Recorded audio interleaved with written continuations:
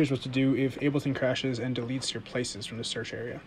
If you only have those, also, if colors go away, click edit, it's not visible, check these back on, and they all come back with everything in them that used to be there. But close live. If you go username, library, preferences, Ableton 11.0.2, you get these files. This library file tells it what to put in places.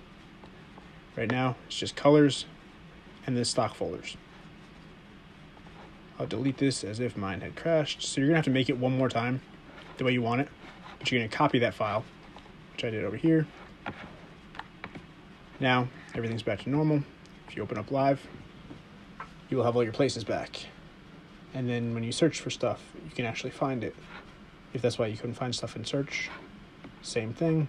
And